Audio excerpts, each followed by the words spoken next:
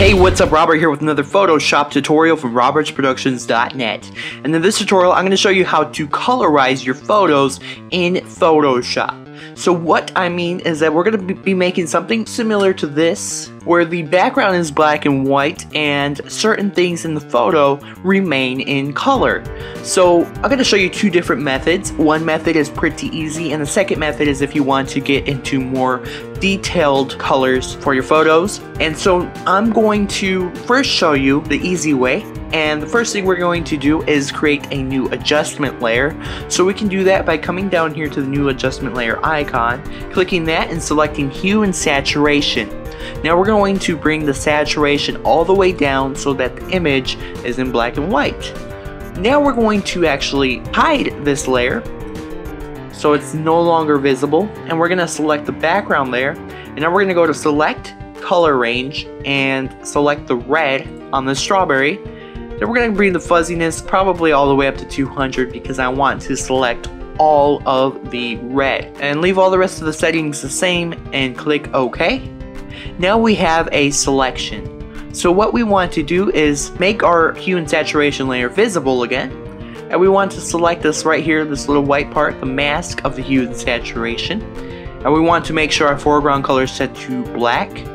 And select a decent sized brush I'm going to just increase my brush size a little bit using the right bracket key and I'm simply going to go and color inside the selection. It doesn't matter how messy you do it because of this selection. It's going to only colorize what's inside of it. So now we can hit Controller Command D to deselect everything and there you have a red strawberry inside of a black and white background. So now for the next method, we're gonna do this car.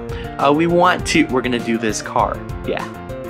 We're gonna colorize this car photo and if I went to select you know color range it's going to select all of the green because I want to select this you know flower here that's on top of the hood but I don't want this tree to be colorized or, or these bushes or flowers over here. So what I need to do is I'm going to once again click over here on the new adjustment layer, bring up the hue and saturation, bring down the saturation all the way to black and white, negative 100, and then select this mask once again. Make sure your uh, foreground color is set to black.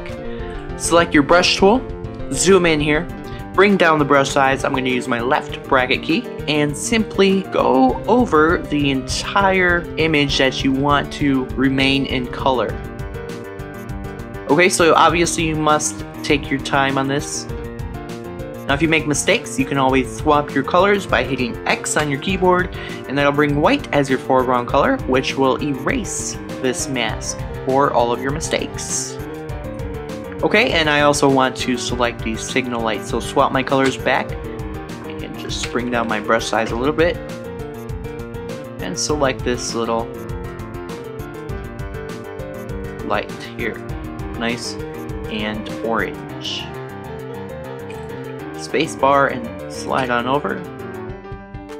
So there you have it, colorizing photos in Photoshop. I hope this helped. Thank you for watching and until next time, take care.